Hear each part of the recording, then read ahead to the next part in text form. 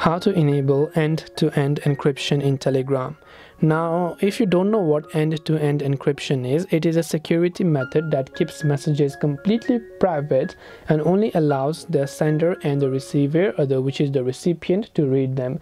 And uh, normally even telegram themselves will not be able to find out what you're talking. Now sometimes now some of the social applications does have an option called end-to-end encryption but in this case which is this telegram it does not have end-to-end encryption just like that. So what you can actually do is tap on the three dots option by after tapping the profile name tap on the three dots option then tap on start secret chat. So whatever you talk in secret chat will be end to end encrypted and only you and the other person will be able to find it out. So i hope this video helped you. If you have got any more questions feel free to leave them down below. Thank you for watching till the very end of this tutorial and see you soon in our next video